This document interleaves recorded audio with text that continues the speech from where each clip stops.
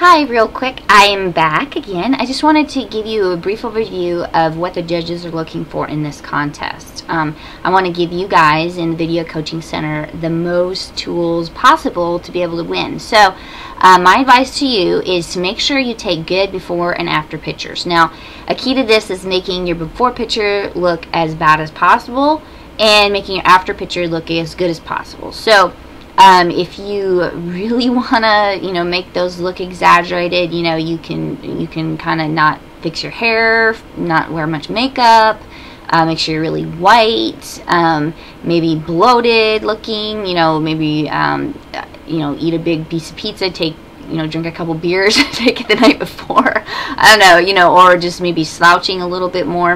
Um, I mean, I'm not trying to get you to cheat and make your before pictures look worse, but um, I'm just saying what I would do is I would take two sets. I'd take a set where you're, you know, looking, you know, trying to look your best and uh, a set that where you're trying to look um, a little exaggerated worse okay? So the before and after pictures are very important. So so take a little time and effort in making those.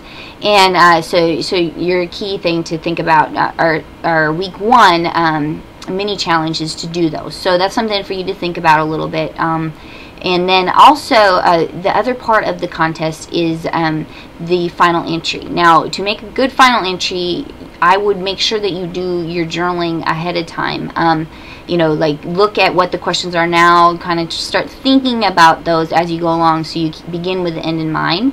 And then also, um, the other part of it is the, um, the, uh, what am I doing? The, the participation part, okay? The judges of the contest are all leaders in Team BuffMother. The leaders of Team BuffMother are in the rally room. If you're visible, blogging, posting, commenting in the rally room, they're going to notice you more. They're going to notice, you know, they're going to have get a personal connection with you.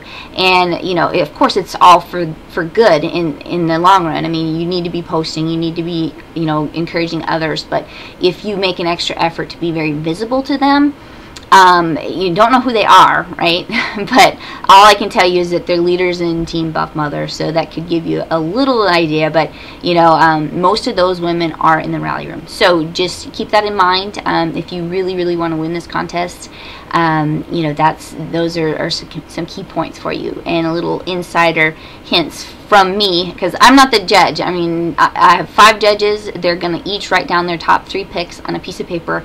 I'm going to put those top three picks from each of the five judges in a hat. So there'll be 15 pieces of paper in there. I'm going to pick it out, and that's who wins. I'm not responsible for deciding. I can't possibly decide. I can't be unbiased and I can't I can't you know you know usually what happens is we have somebody that is just the obvious winner I mean like last year Brenda was just the obvious winner. There's no way she didn't win. I mean, and, and same thing with our last contest, our Firecrack and Hot contest.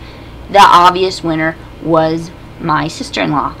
and I mean, I didn't expect her to be, but she was. I mean, she just did it. She did awesome. She was the winner. Everybody knew it, and so did I. So anyway, but um, I'm hoping, you know, when we have uh, so many people in the contest, it's hard to tell. So anyway, good luck with that. Hope you win. Bye.